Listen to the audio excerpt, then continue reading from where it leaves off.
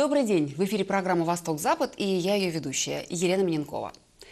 Зачем я за вас вообще голосовала? Теперь мне откровенно стыдно. Я вас выбрала, но, оглядываясь на прошедшие дни, теперь сожалею о своем выборе. Вы бы хоть предупреждали перед тем, как что-то менять. Или вот еще. Вы социопат, обманщик, эгоист, государственный изменник и неамериканец. Ну, а вот это вообще отличное. После того, как я осознала, что проголосовала за Трампа и что натворила таким образом, я бросила пить. Это был мой худший поступок в пьяном состоянии за всю жизнь. В Твиттере на этой неделе появился специальный аккаунт, где люди, прежде всего голосовавшие за Трампа, пытаются донести до нового американского президента, что не согласны с его решениями. Указ Трампа не пускать в США граждан семи мусульманских стран вызвал возмущение у многих за пределами Америки. По всему миру не прекращаются акции протеста. Одна из таких состоялась сегодня и у американского посольства в Берлине. «Нет стене» символично скандировала собравшаяся толпа на Паризер-Плац. Германия, где проживает много иммигрантов из мусульманских стран, наверное, особенно не безразлична судьба тех, кого коснулся новый закон. Мой коллега Александр пообщался с людьми, которые приехали в Германию в разные годы как беженцы, но смогли достичь здесь успеха. Я сделаю фото с вами. Конечно. Или идемте лучше сфотографируемся вместе. Да, сейчас. Художник Кани Алави с удовольствием фотографируется с туристами, которые рассматривают его картину. Рисунок это произошло в ноябре. Первое произведение, которое появилось здесь, на бывшей Берлинской стене через несколько дней после того, как граница была открыта. В ноябре 90 -го года я жил в четырех метрах от стены, рядом с чекпоинтом Чарли. Там я видел эту толпу людей, которые прорывались сквозь упавшую стену, и нарисовал эту картину здесь. Он работал несколько недель, нужно было нарисовать сотни лиц. Счастливых, но не безмятежных. Никто не знал, что их ждет там, на Западе. Работая над картиной, Кани Алави помогал другим художникам расписывать соседние участки стены. Находил для коллег кисти, краски и лестницы. Решал организационные вопросы, договаривался с властями. Так появилась East Side Gallery, самая длинная в мире художественная галерея под открытым небом. Этому проекту родившийся в Иране художник посвятил всю свою жизнь. Но сейчас у него появилась идея для новой работы. Я бы с удовольствием поехал в Штаты. Я бы там в Нью-Йорке, в штаб-квартире ООН, в саду нарисовал большую картину с очень ясным мотивом. Два человека обнимают друг друга сквозь стену. Это такой диалог между Востоком и Западом. Столько лет спустя, после падения Берлинской стены, эта тема снова становится актуальной. Äh, Но пока художник не может принять приглашение из Америки. Он живет в Германии уже 37 лет, у него есть немецкий паспорт. Но есть и иранский. Из-за особенностей законодательства выйти из гражданства этой страны практически невозможно. Теперь же, по распоряжению Дональда Трампа, все граждане Ирана, Ирака, Сирии и нескольких других стран не могут поехать в США, Uh, Один мой приятель из Сирии открыл вместе с родителями традиционный сирийский ресторан. Они проводят там еще различные мероприятия. Это целый культурный центр с рестораном. И есть еще куча людей, которые реализуют весьма креативные идеи. Лубна Рашид сама родилась в Ираке, но ей, можно сказать, повезло. Она оказалась в США еще в 2010 году в качестве беженки и с тех пор успела обзавестись американским паспортом. Так что она может вернуться домой в Штаты в любой момент но пока работает в Берлине. Пишет докторскую диссертацию на тему «Бизнес-проекты, организованные беженцами и их вклад в экономику европейских стран». Это факультет бизнеса в Школе экономики и менеджмента технического университета. И у нас сразу несколько человек занимаются исследованием иммиграционных процессов, бизнесом и взаимоотношениями новоприбывших и экономики европейских стран.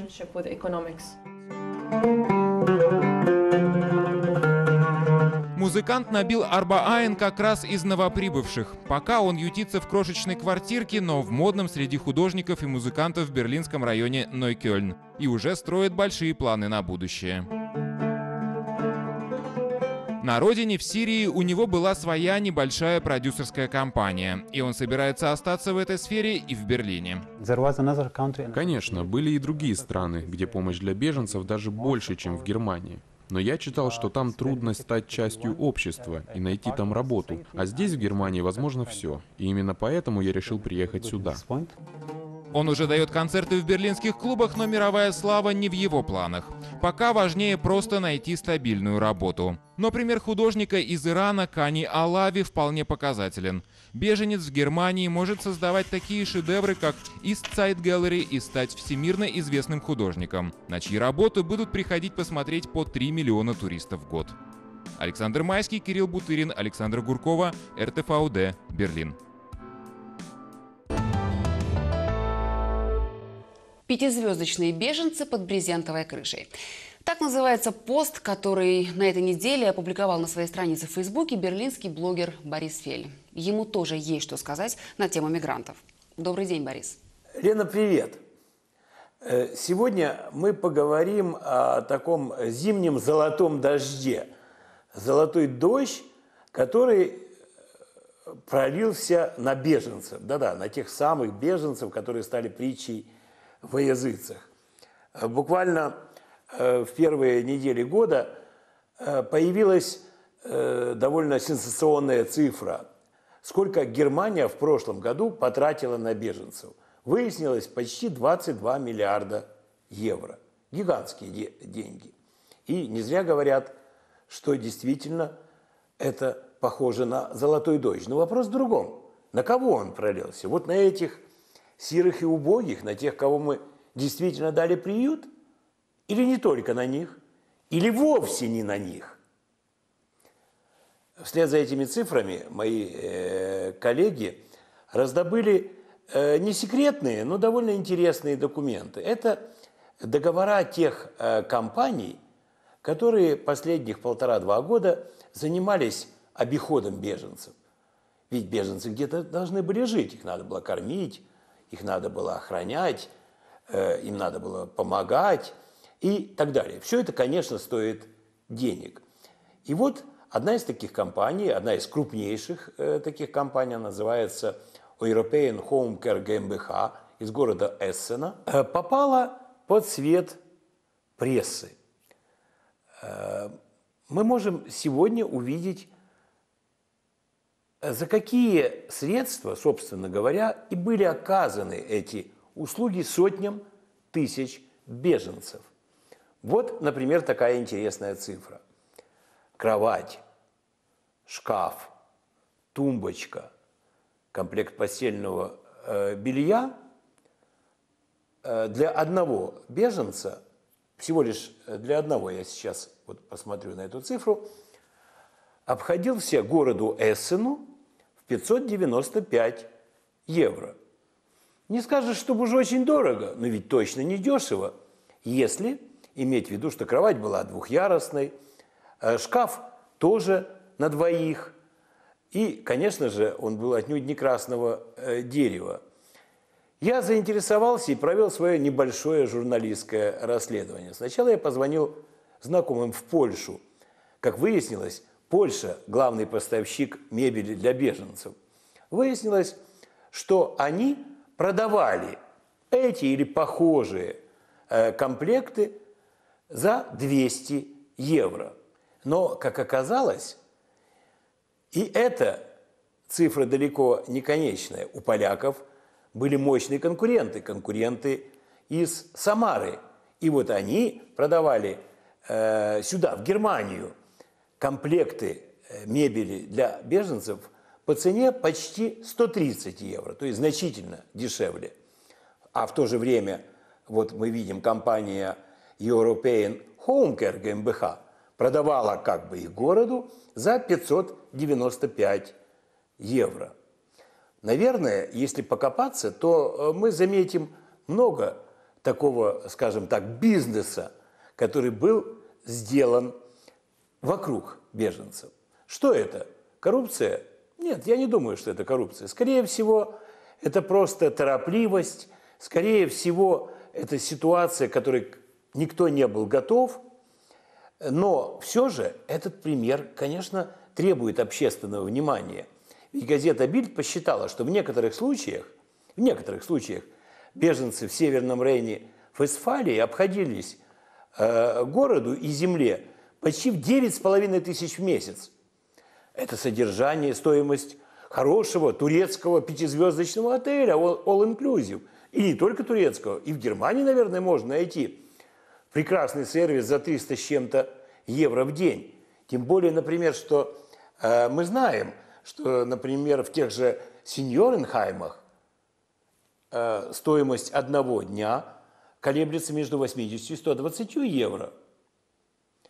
Беженцев же мы, оказывается, на беженцев же мы тратили какие-то пятизвездочные цифры. Словом, после этого золотого дождя остались огромные лужи, в которые общество заглядывает с недоумением.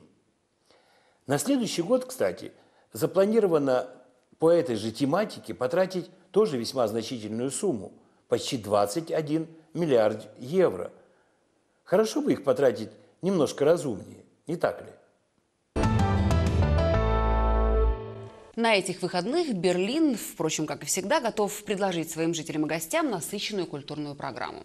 Выставку редких монет, фестиваль музыки в стиле кантри и графики и еще пару десятков концертов и выставок. Вход стоит примерно от 4 до 100 евро. Мы же, внимание, готовы рассказать о мероприятиях, которые можно посетить абсолютно бесплатно и при этом получить массу удовольствия. Наши прогулки по бесплатному Берлину продолжаются. Мы уже рассказывали о том, как в столице можно раздобыть совершенно безвозмездный велосипед, взять на прокат дрель или отремонтировать свой ноутбук. На этот же раз речь пойдет о том, куда можно сходить, чтобы отдохнуть душой и узнать для себя много нового и интересного.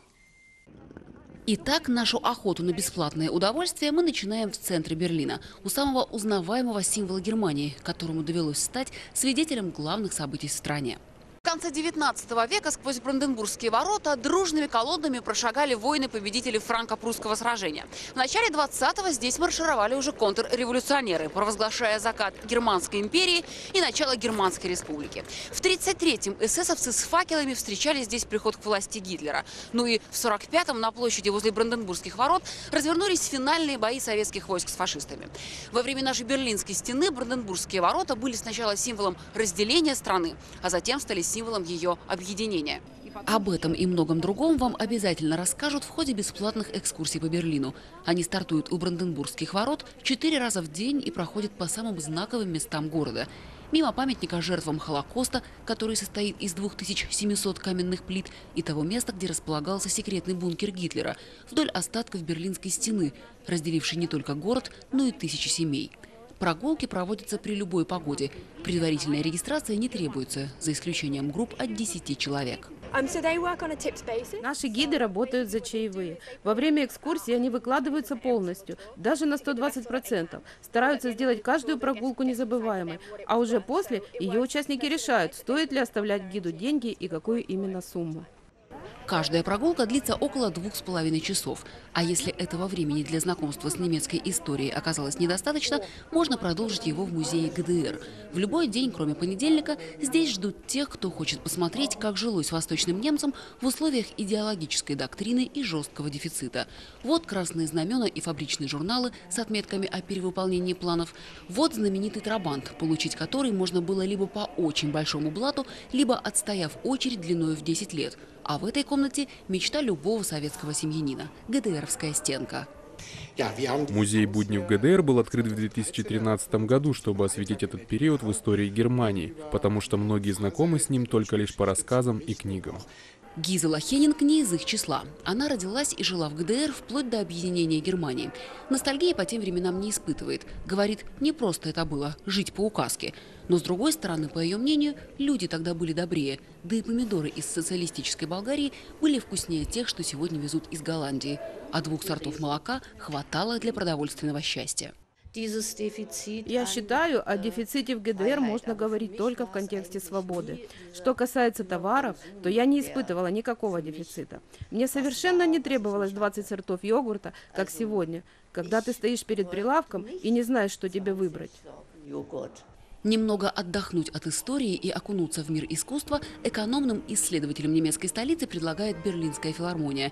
Каждый вторник в 13 часов тут проходят бесплатные ланч-концерты. Как следует из названия, перекусить под звуки скрипки или рояля в храме музыки можно, но публика приходит сюда не за этим, а за тем, чтобы послушать первоклассных исполнителей. Они выступают на импровизированной сцене прямо в фойе, Обстановка самая что ни на есть демократичная. Можно сидеть на ступеньках или даже дремать, устроившись на полу. Следует учесть, что количество пропускных талонов ровно 1500. Кто успел, тот прошел. Поэтому днем по вторникам у филармонии всегда ажиотаж. Фантастика. Это замечательная инициатива, особенно если учесть, что вход на концерт бесплатный. Это отличное предложение как для гостей столицы, так и для коренных берлинцев, как я. Прекрасно, что есть возможность отвлечься от повседневности. Ну и напоследок еще одна экскурсия. На этот раз за кулисы главного немецкого телеканала. 80 журналистов, которые работают в этом здании, ежедневно сообщают самые свежие новости из мира большой политики. Информативно, серьезно, актуально. Вот девиз телеканала АРД. Его студии оснащены по последнему слову техники. Все для того, чтобы зрители увидели качественный продукт. Это святая святых любого телеканала, студия, где записываются программы. Пользуясь случаем, хочу передать привет своему дорогому коллеге Морицу Гатману и Грюсе Дих Морец. Ты знаешь, о чем я подумала? Мне кажется, мы бы с тобой очень даже неплохо смотрелись в этой студии. Вот, пожалуй, сейчас закончится наша персональная экскурсия, и я переговорю с руководством телеканала АРД. Может быть, удастся махнуться студиями на пару недель. Почувствовать себя телезвездой может каждый участник экскурсии, а также узнать, как зеленый материал в кадре превращается в красивый пейзаж, зачем одно изображение транслируется на несколько мониторов сразу и другие фирменные рецепты теле- и радиокухни. Экскурсии по зданию проходят трижды в день.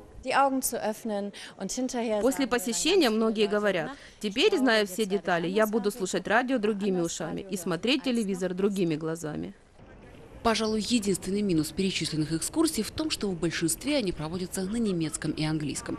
Однако это не проблема. В многонациональном Берлине есть десятки энтузиастов, готовых обучить вас языку совершенно бесплатно. Но об этом уже в другой раз. Елена Миненкова, Кирилл Бутырин, Александра Буркова. РТФУД. Берлин. Кстати, когда моя мама была в музее истории ГДР, ее, в отличие от героини моего сюжета, накрыла ностальгия по советскому времени. В следующий раз, когда она приедет в гости, нужно сводить ее на лач-концерт в филармонию. Хотя для российских пенсионеров, учитывая размер пенсии и свежие новости о девальвации рубля, поездка в Европу, конечно, событие. Это вам не бодрые немецкие бабушки и дедушки, которые на свою пенсию колесят по всему миру. Да и вообще ведут активный образ жизни. Мой коллега Сергей встретился с такими – активными, спортивными и позитивными. Израилю потихе скоро 89. В таком солидном возрасте на голове уже не ходят. Но стоять можно вполне уверенно. Йога – одно из самых любимых занятий Израиля. Так, делаем оттяжку. Стоп. Хорошее упражнение очень. Бывший детдомовец, переживший блокаду Ленинграда, всю жизнь работал инженером-механиком и преподавателем по тому же профилю, но интересовался не только машинами. Как-то целых пять лет потратил на то, чтобы написать научную работу по инженерии человеческих отношений. Взаимоценностные качества супругов в идеальных моделях и реальных браках. Исследование так и не было опубликовано, но его автора это не смущает. Жизнь независимо от возраста, творчество, говорит он. Творчество – это деятельность, создающая еще неизвестное. Это первое. И второе – это наилучший способ самовыражения.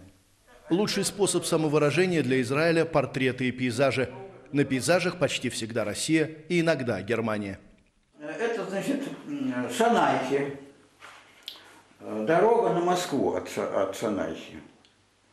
На, вот. Но здесь у меня интересная была э, ситуация, история. Примерно 6 часов вечера. И вдруг вот от... Так, я отсюда стоял, вот отсюда. Я стоял... Нет, я стоял сюда, правильно. Вот отсюда. Два кабана колоссальных. Вот таким вот образом. А у меня, значит, на велосипеде этюдник стоит, так, и я масло, тут руки в масле, все так. Вот. Что делать? Они прямо на меня прут. Два колоссальных кабана. Обычно у меня, значит, э, очень хороший свист был раньше. Я два пальца так засунул. Но у меня пальцы в этом, в этом самом, э, в масле. Что я делал? Мгновенно я, значит, вскакиваю, а, -а, -а, Закричал, они как фуганули. В этом самом Шанайхе под Берлином, где Израиль потихо напугал кабанов, живет Михаил Мельмайстер. Сейчас он спешит на репетицию своего театра. Ставит Чехова. Михаил не только режиссер, но и исполнитель одной из ролей. Я, молодой человек, не привык, чтобы со мной разговаривали вот таким вот тоном. Мельмайстер – профессиональный актер. А вот Андрей Гитин в прошлой своей жизни доктор физико-математических наук. Но сегодняшняя его жизнь театр. Не вообще жизнь театр, а вот этот конкретный, маленький, любительский, провинциальный, но самый лучший. Года два назад я играл кота Матроскина. Для меня весь год практически был то, что я был котом Матроскина. В прошлом году Деда Мороза. Опять же, вот эти песни Деда Мороза, это был мюзикл. мюзикл. Для меня это основной этап в жизни. Я, конечно, в то время еще, так сказать, писал статьи. Но я надеюсь, еще смогу когда-нибудь вернуться в работу. Но театр, безусловно, помогает. И этапы, вот, для меня каждый спектакль – это этап жизни.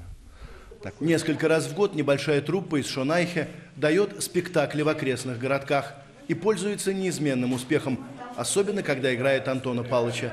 У Мельмайстера трепетное отношение к классику. Сегодняшний день требует каких-то модернизаций театра или, или каких-то новшеств, или авангардных каких-то решений, может быть. Э, изменилась жизнь, изменилась динамика, э, и поэтому и театр тоже э, на себя взял такую роль, как бы по жизни идти. Но мне нравится классический подход к этому делу. И, может быть, сегодня он во всяком случае, он честен. Честным отношением к Чехову Михаил подкупил Ирене. Она преподавала славистику в Гумбольском университете. Теперь на пенсии стала заядлой театралкой.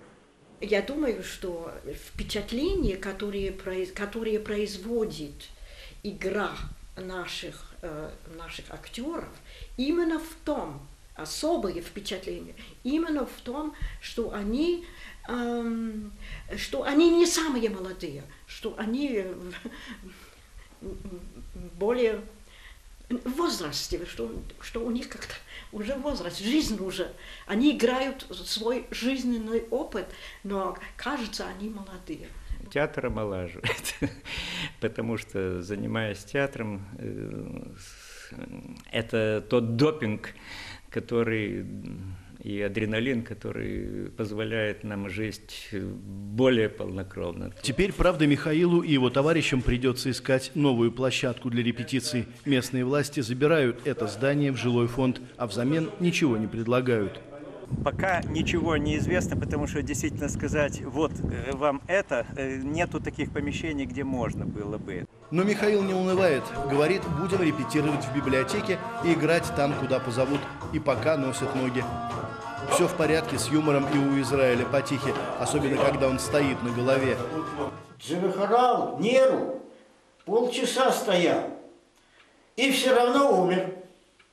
И это не черный юмор, это философское отношение к жизни человека, которому скоро 89, но который по-прежнему молод. Многочисленные исследования, проведенные за последние десятилетия в разных странах мира, подтверждают, что отсутствие у человека стремления к творчеству ведет к потере интереса к жизни и, как следствие, к сокращению ее срока. Двигаться надо, говорят ученые, причем не только ногами, но и душой, ведь жизнь – это движение. Сергей Гапонов, Алексей Протасов, РТФУД, Берлин. Это была программа «Восток-Запад». Я прощаюсь с вами до следующей недели. Надеюсь, что к тому времени мой дорогой коллега Морец Гатман к нам обязательно присоединится и расскажет, где был и что видел. Следите за новостями и до встречи.